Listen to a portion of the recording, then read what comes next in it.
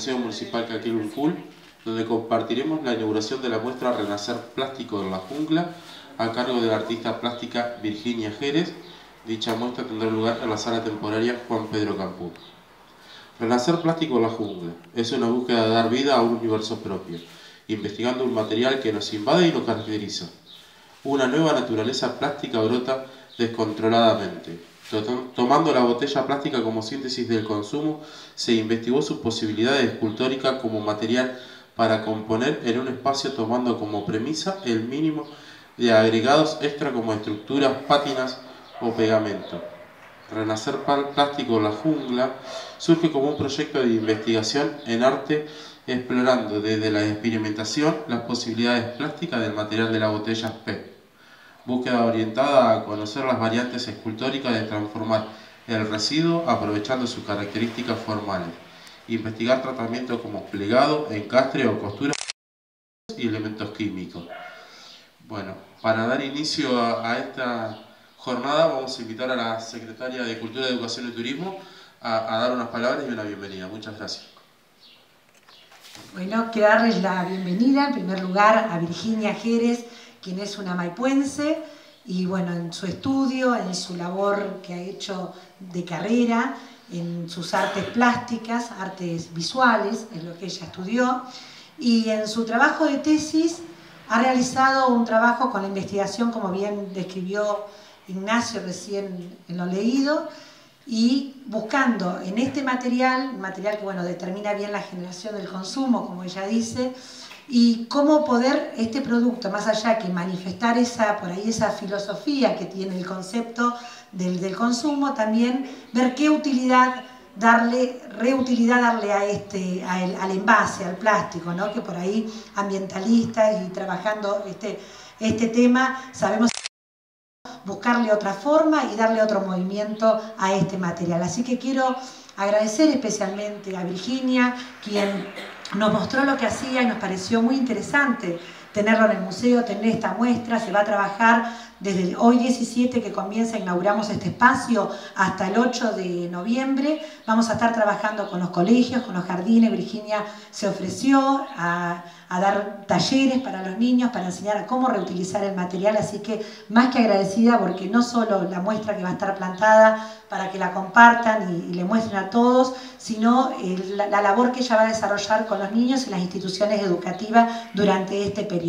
Quiero agradecer la presencia de Norman Franchini, por Amigos del Museo, agradecer a Tito Nadeo que siempre nos acompaña y en su medio, en su página, en internet siempre está acompañando este espacio que es tan caro e importante, donde bueno, eh, está parte de, la, de, la, historia y de la construcción que venimos haciendo social en Maipú. Y esto es parte de la construcción social, parte de un nuevo vienen desarrollando en la sala itinerante. Así que gracias a los medios también de comunicación por hacer extensiva esta invitación. Invitar a todos a que vengan, a que vean y aprecien esta muestra que Virginia Jerez, una maipuense, maipuense nos trae y nos ofrece a nosotros, a su comunidad. Gracias Virginia.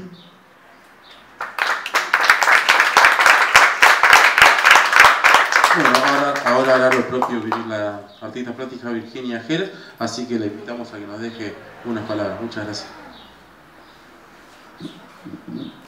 Bueno, buenas tardes a todos. Primero agradecer al museo la posibilidad de volver a presentar esta muestra, porque como decía, trabajo como final de carrera y en su momento era un trabajo para presentarlo una sola vez.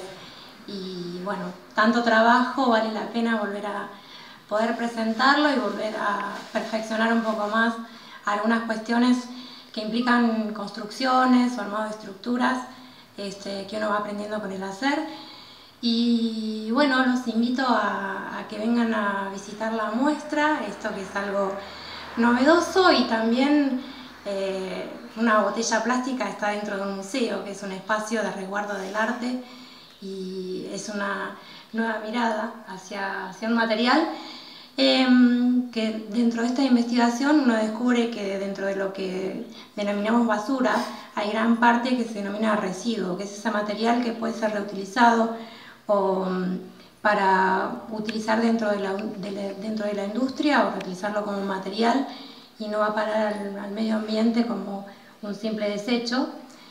Eh, la botella plástica como este símbolo del consumismo yo lo tomé como, una, como el, eh, plástico que nos que, lo tenemos eh, en muchos elementos que, usamos cotidianamente y la botella eh, está en, en, la mayoría de las casas, independientemente del poder adquisitivo de las familias, hay una botella plástica y es un material totalmente reutilizable.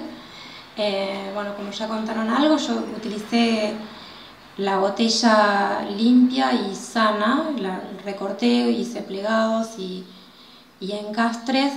Y el acabado es simplemente el, material en bruto y en, en, la sala cuando ingresen a la selva plástica van a ver que eh, lo que le he agregado es simplemente una ambientación con luces y sonidos. Y bueno, la idea de la botella gigante es esta representar, representar como el, el consumismo y la idea es que puedan ingresar y sentir como esa sensación de encierro dentro de la botella.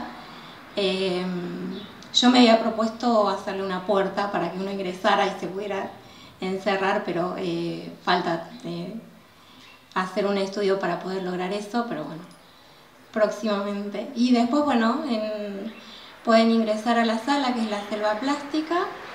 Em, donde van a aparecer diferentes elementos que, construir a partir de, manipular. Después un tercer espacio, que es este espacio eh, que representa la cinta de Moebius, los cubos en Moebius. Eh, la cinta de Moebius representa universalmente el símbolo del reciclado, que son eh, las tres flechitas de reducir, reutilizar y reciclar. Y la idea es generar este espacio didáctico donde se pueden construir a partir de cubos eh, elaborados con el material de la botella, simplemente recorte y plegado del material y encastre se forman estos cubos. Así que bueno, los invito a todos a que vengan a, a ver la muestra. Muchísimas gracias al museo nuevamente por, por la invitación y también a la Secretaría de Cultura porque yo en los dos últimos años de carrera recibí una beca que me permitió darme por ahí estas licencias de, dedicarme a trabajar de lleno en lo que era eh, la carrera, escultura que lleva mucho tiempo y mucho trabajo. Muchas gracias.